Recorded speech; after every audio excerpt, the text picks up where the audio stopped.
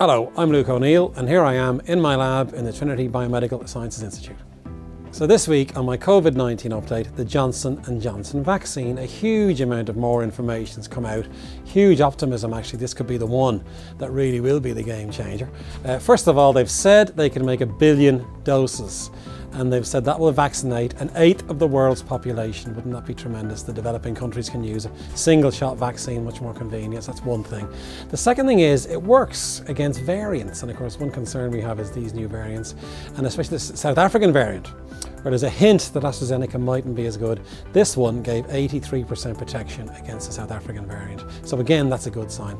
It's a vaccine that's a bit different to the Pfizer vaccine. It's the DNA for the spike protein in a special what's called a viral vector. They're using it, the common cold virus, adenoviruses. They've taken that virus, stuck in the spike protein, and that's the vaccine. So it's a very simple vaccine in many ways. Uh, they're also using it uh, for experimental vaccines for Ebola, Zika and HIV.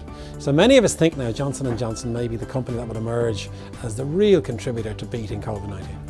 And of course, new variants, I mean, it's still in the news a lot. There's three that have emerged and we watch them very, very closely. We don't want any more of these coming out, is, is one concern that we have. And a very interesting question, where have they come from? And there's evidence that if you give someone convalescent plasma who's got uh, COVID-19, that means you've taken antibodies from someone who's recovered and use that as a therapy, because of course antibodies will neutralize the virus and uh, limit it in various ways. It could be someone who was given that plasma and a virus then survives that plasma and kind of gets around it through evolution. That could be where new variants have come from. And there was an experiment done that kind of suggests that if you give the virus convalescent plasma, it'll divide and new ones will emerge randomly that'll dodge that plasma. That means they could dodge the vaccine because of course the vaccine brings in antibodies as well. So one idea we now have is stop using convalescent plasma because that may well limit the development of these new variants. So one way to stop them is to alter the therapeutics that are being used. And that's important because we want to limit the, uh, the arrival of new variants. And a big question that still is persisting, I mean this is quite surprising in some ways, can you catch COVID-19 off surfaces? And of course we're washing surfaces, we're washing our hands all the time.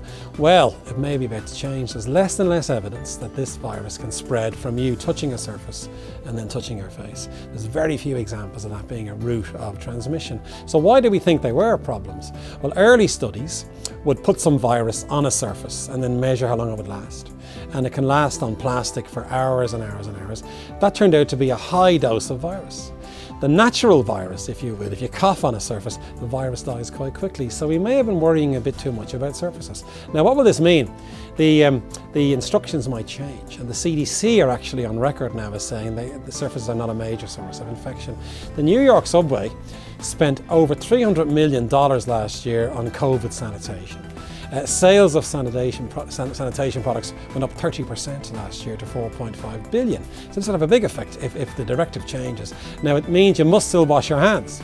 There's still a risk of say touching your face and then giving someone else the virus through hand contact. So it's still sensible to keep your hands clean, but keeping surfaces clean may not be as important as was seen as was suggested in the past. And you can hear about these stories and more on my weekly COVID-19 update with Pat Kenny on Newstalk.